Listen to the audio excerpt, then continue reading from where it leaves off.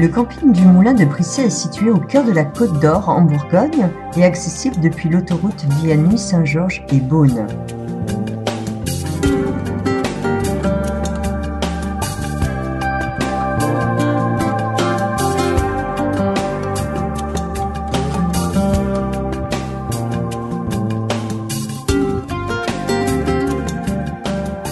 Depuis 1974, nous accueillons les amoureux du plein air, que ce soit sous tente, en caravane ou en camping-car.